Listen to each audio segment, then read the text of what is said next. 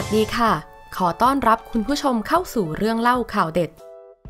บทเรียนสุดเจ็บปวด ดรเอ ความหวังใหม่ประชาธิปัตย์ผิดตาเดียว แพ้ทั้งกระดาน เท้าความก่อนหน้านี้ แวดวงการเมืองพูดกันเป็นเสียงเดียวว่า พักประชาธิปัตย์ไม่มีคนลงสมัครรับเลือกตั้งผู้ว่าราชการกรุงเทพมหานคร แต่สุดท้ายก็ได้สุชัดชวี สุวรรณสวัสดิ์มาเป็นผู้สมัครในนามพัก โดยได้เปิดตัวอย่างเป็นทางการแล้ว เมื่อวันที่ 13 ธันวาคมที่ผ่านมาที่ตึก3ย่านมิตรทาวน์ซึ่งสังคมให้ความสนใจ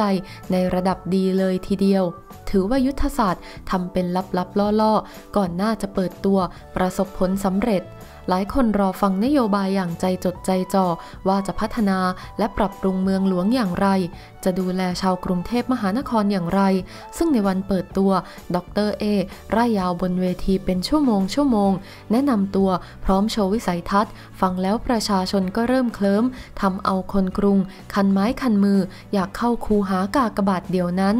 ขณะเดียวกันก็คงทำให้พักคู่แข่งลนลาน ต้องหาทางเคลื่อนไหวบ้าง ไม่เช่นนั้นกระแสอาจโดนกลบได้ เพราะต้องยอมรับว่าศาสตราจารย์ดร สุชัชวี โปรไฟล์ประวัติการศึกษา ประวัติการทำงานเพอร์เฟกแต่ไม่ไวายโดนโลกโซเชียลถล่มทันที ขุดเรื่องสมัยยังเป็นอธิการบดีมาโจมตี แต่ดรเอก็กล่าวไว้ว่าเป็นเรื่องปกติ ถือเป็นการรับน้อง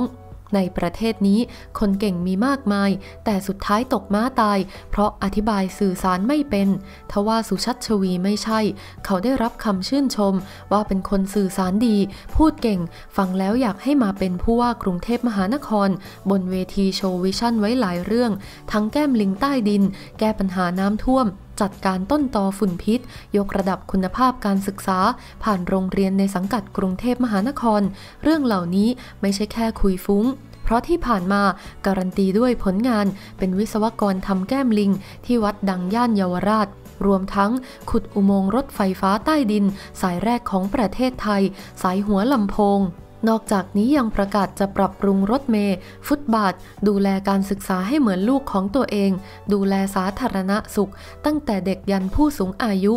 หลังจากนี้ก็คงต้องจับตาการลงพื้นที่พบปะชาวกรุงเทพมหานคร ล่าสุดเจ้าตัวเปิดเผยว่าตั้งใจจะไปเจอชาวธนบุรี ดูทะเลอ่าวไทยกัดเซาะตลิ่งแถวบางขุนเทียน และไปต่อที่บางบอน บางแค ส่วนทีมงานคุณภาพ รองผู้ว่ากรุงเทพมหานครนั้น ยังอุบไตแต่เปิดสเปคต้องเป็นนักเปลี่ยนแปลง นักสู้มีความรู้จริงในงานที่จะได้ดูแล เปิดตัวอย่างเป็นทางการ ต้องยอมรับว่ากระแสมาและเป็นจุดสนใจ สุชัชวี คือความหวังใหม่ของการกอบกู้ ประชาธิปัตย์ให้คืนสู่สนามเลือกตั้ง โดยเฉพาะในพื้นที่เมืองกรุง ที่เมื่อการเลือกตั้งใหญ่สสสองปีที่แล้ว ไม่มีผู้แทนราษฎร ในกรุงเทพมหานครแม้แต่คนเดียวเสียงบอกเล่าจากในพักว่าเขาเป็นเจ้าโปรเจกต์ไม่พอ แต่คนนี้ได้ศึกษาแล้วว่า ถ้าได้ทำจริงจะเอางบประมาณจากส่วนใดแล้ว บางคนฟันธง ถ้าได้ขึ้นเวทีดีเบต ระหว่างสุชัชวี กับชัดชาติสิทธิพันธ์ รับรองว่าสุชัชวี พูดเก่งกว่า คล่องกว่าแน่นอน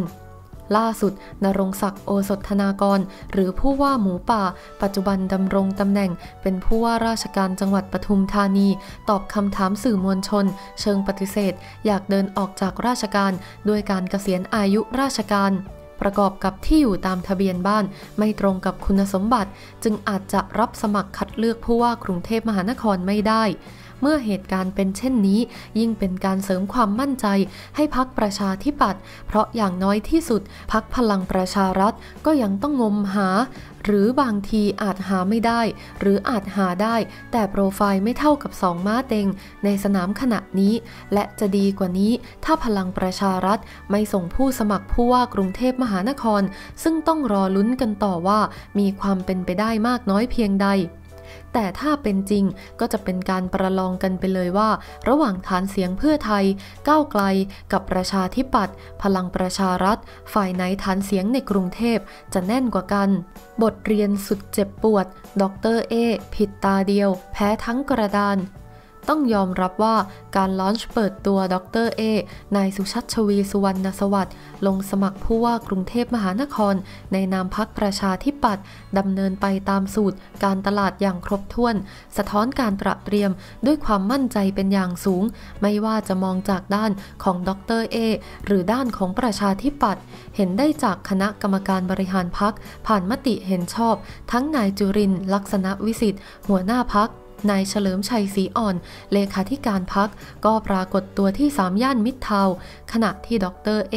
นายสุชัชวีร์ ถอดพิมพ์เขียวมาจากโครงสร้างการเปิดตัวของสตีฟจ็อบส์เมื่อนำเสนอสมาร์ทโฟน ด้วยท่วงทำนองความเป็นอัจฉริยะ พร้อมมูล ไม่ว่าจะเป็นการมองภาพกรุงเทพในอนาคต หรือวิสัยทัศน์ อันเลิศหรูอลังการของเมืองใหม่ เมืองก้าวหน้า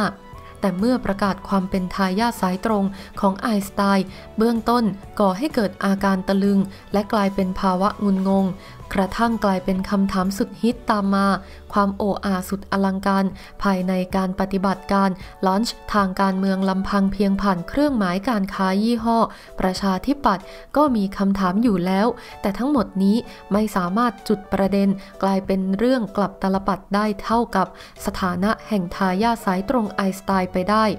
ลำพังชื่อของอัลเบิร์ตไอน์สไตน์ก็ล้ำเลิศอยู่แล้ว เมื่อประสานกับวิสัยทัศน์สุดฤทธิ์กับดร.เอ้เข้าไป จึงนำไปสู่การสอบถามตรงไปยัง MIT เมื่อเฮอร์เบิร์ตไอน์สไตน์ออกมาปฏิเสธความเป็นทายาทโดยตรงของท่านอัลเบิร์ตไอน์สไตน์ดร.เอ้ก็แทบไปไม่เป็น ที่หวังจะให้เกิดระเบิด ก็มีอันต้องระเบิดจนแตกกระจาย จึงไม่เพียงแต่มีการลบบางถ้อยคำที่กลายเป็นปัญหาต่อจังหวะก้าวของดรเอ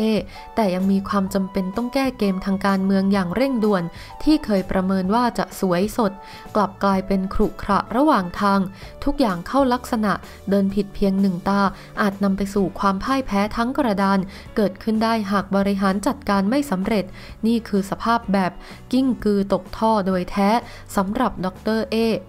ขอขอบคุณข้อมูลดีๆ จากไทยโพสต์ และมติชน